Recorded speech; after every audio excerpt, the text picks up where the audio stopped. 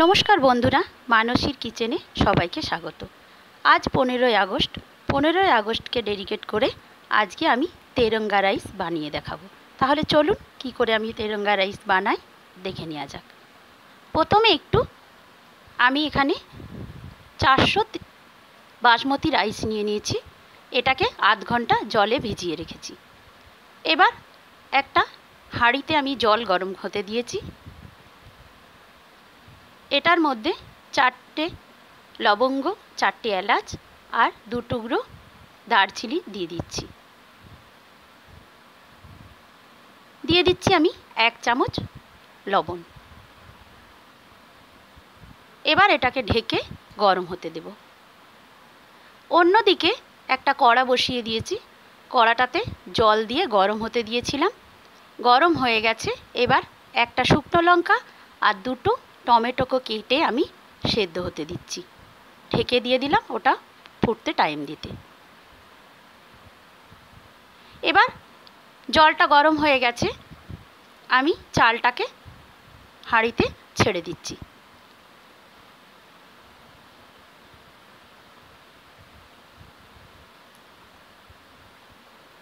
এটাকে আমি এবার ঢেকে ফুটতে দেব।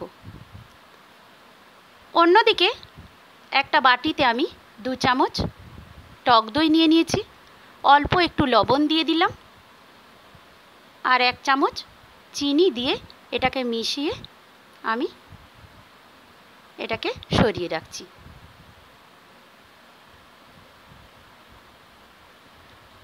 একটা মিক্সিং বাটি নিয়ে নিয়েছি। এখানে এক মুঠো পুদিনা পাতা নিয়ে নিয়েছি আমি।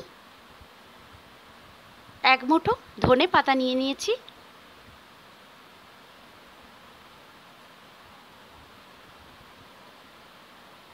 দুটো রসুনের কোয়া দিয়ে দিলাম। অল্প একটু লবণ দিয়ে দিলাম হাফ চামচের মতো। এক চামচ, ছোট চামচের এক চামচ চিনি দিয়ে দিলাম। দুটো কাঁচা লঙ্কাকে আমি ভেঙে দিচ্ছি। এক চামচ লেবুর রস দিয়ে দিচ্ছি। এবার এটাকে আমি গ্রিন সস বানিয়ে নেব। এদিকে টমেটোটা আমার সেদ্ধ হয়ে গেছে। টমেটো আর লঙ্কাটাকে আমি তুলে টমেটোর খোসাটা ছাড়িয়ে রেখেছি। এটাকে আমি গেরুয়া সস বানিয়ে নেব। তার জন্য একটা কড়াতে অল্প একটু এক চামচের মতো তেল দিয়ে দিয়েছি। হাফ ইঞ্চি আদা আর আট দশ কোয়া রসুন আমি একটু ভেজে নিচ্ছি হালকা। এটাকে হালকা ভেজে নিয়ে আমি টমেটোটা আর শুকনো লঙ্কাটা এর মধ্যে দিয়ে দিচ্ছি। এগুলোকে দিয়েও আমি ভালো করে একটু মিশিয়ে ভেজে নেব। এবার এটা হালকা ফ্রাই করে তুলে নেব। এবার ঠান্ডা হয়ে গেলে আমি এটাকে পেস্ট বানিয়ে নেব। এটা পেস্ট বানানো হয়ে গেছে। আমি ভাতটা এবার দেখে নিচ্ছি। ভাতটা সেদ্ধ হয়ে গেছে, এটাকে আমি ফ্যান ঝরিয়ে নেব। দেখুন, গ্রিন সসটাও তৈরি হয়ে গেছে আর অরেঞ্জ সসটাও তৈরি হয়ে গেছে। এর মধ্যে আমি একটু লবণ আর এক চামচ চিনি দিয়ে মিশিয়ে নিচ্ছি। এর সঙ্গে দিয়ে দিলাম দু চামচ টমেটো কেচাপ। এবারে খুব ভালো করে মিশিয়ে এটাকে রেখে দিলাম। এখানে আমি দুশো চিকেন নিয়ে নিয়েছি। একটু লবণ দিয়ে দিলাম আর এক চামচ ভিনিগার দিয়ে দিলাম। এটাকে আমি ম্যারিনেট করে রাখছি।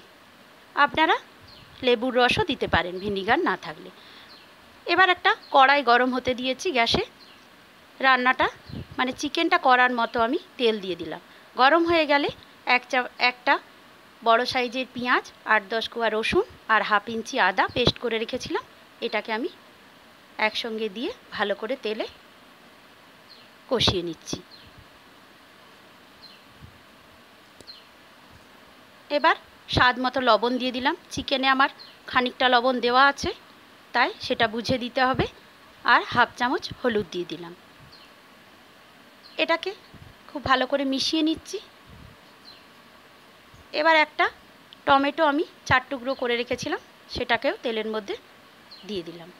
কড়াতে দিয়ে ভালো করে মিশিয়ে নিচ্ছি। এবার ম্যারিনেট করা চিকেনটাকে আমি ছেড়ে দিলাম কড়াতে। এবার ভালো করে এটাকে কষিয়ে নিতে হবে।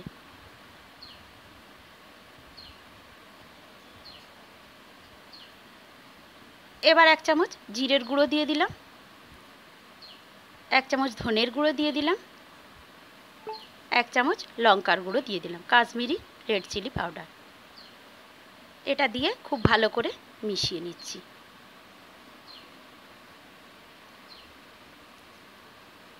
এটা দিয়ে আমাকে পাঁচ মিনিট কষিয়ে নিতে হয়েছে। আমার এই তেরঙ্গা রাইসের রেসিপিটা যদি আপনাদের ভালো লাগে, তাহলে প্লিজ লাইক, কমেন্ট, শেয়ার করবেন। বন্ধুদের সাথে প্রচুর প্রচুর শেয়ার করবেন। আর যারা এখনও আমার চ্যানেলটিকে সাবস্ক্রাইব করেননি, তাদের কাছে অনুরোধ রইল আমার চ্যানেলটাকে সাবস্ক্রাইব করার। এবার দেখুন টমেটোটা গলে গেছে। এবার আমি এটা জল দিয়ে খানিকক্ষণ ফুটতে দেব। আমি দেড় বাটির মতো জল দিয়ে দিলাম। এবার এটাকে ঢেকে দু মিনিট প্রথমে ফুটিয়ে নেব। দু মিনিট পর ঢাকাটা খুলে আবার একটু উল্টে পাল্টে আবার একটু ঢাকা দিয়ে দেবো দু মিনিটের মতো।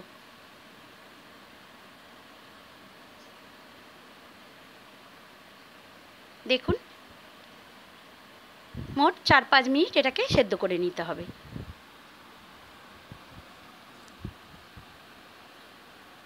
এবার আমি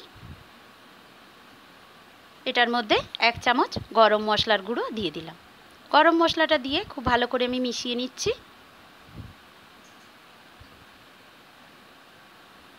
এবার আমি খানিকটা চিকেন একটা বাটিতে তুলে রাখছি। কারণ আমি এতটা চিকেন আমার লাগবে না। আমার যতটুকু লাগবে আমি সেইটুকু রেখে বাকিটা তুলে রাখলাম। এবার এর মধ্যে আমি ধোয়াতা, ভাতটা দিয়ে দিলাম।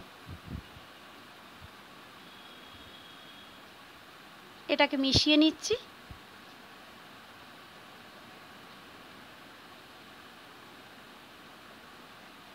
এবার গেরুয়া রঙের যে সসটা আমি বানিয়ে রেখেছিলাম, ওইটা আমি তিন চামচ এতে দিয়ে দিলাম। এবার খুব ভালো করে মিশিয়ে নেব।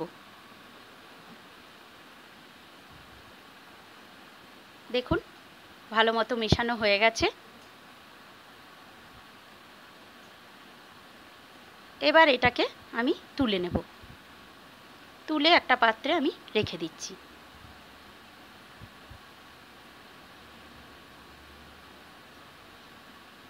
এবার কড়াটাকে ক্লিন করে আবার আমি গ্যাসে বসিয়ে দিয়েছি।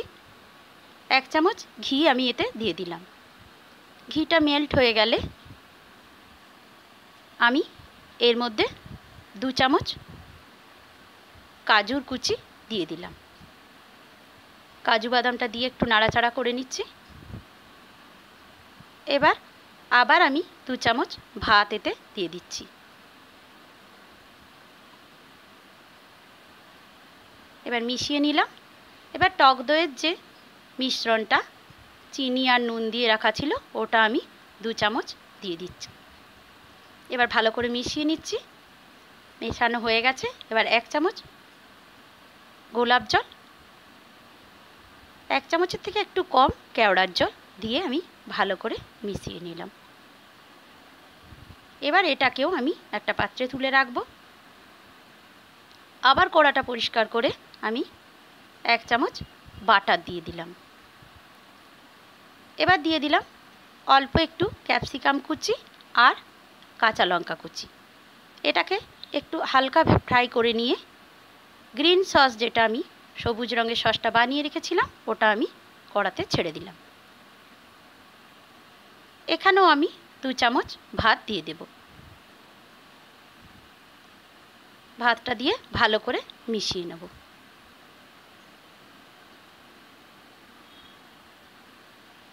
দেখুন, ভালো করে মেশানো হয়ে গেছে। এবার এটাকে একটা পাত্রে তুলে রাখছি। দেখুন, তিন রঙের, তিন রকমের, তিনটে স্বাদের, আলাদা আলাদা ভিন্ন স্বাদের ভাত আমার তৈরি হয়ে গেছে রাইস। এবার একটা বাটিতে আমি ঘি ব্রাশ করে নিলাম। এবারে অরেঞ্জ কালারের যে রাইসটা, ওটাকে আমি চামচ দিয়ে ভালো করে সেট করে নিলাম। এবার আমি মাঝখানে দিলাম সাদা ভাতটা। এটাকেও চামচ দিয়ে ভালো করে সেট করে নিচ্ছি। এবার সব শেষে দিয়ে দেবো আমি সবুজ রঙের ভাতটা। দেখুন, এটাকেও ভালো করে চামচ দিয়ে সেট করে নিলাম। তিনটে লেয়ারের ভাত আমি তিন রকমের একটা বাটির মধ্যে সাজিয়ে নিয়েছি।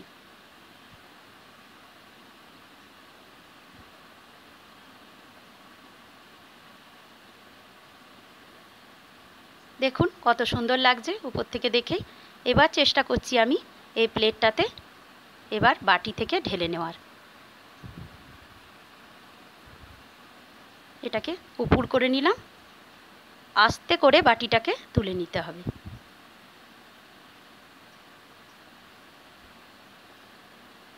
দেখুন, কত সুন্দরভাবে তেরঙ্গা রাইস তৈরি হয়ে গেল।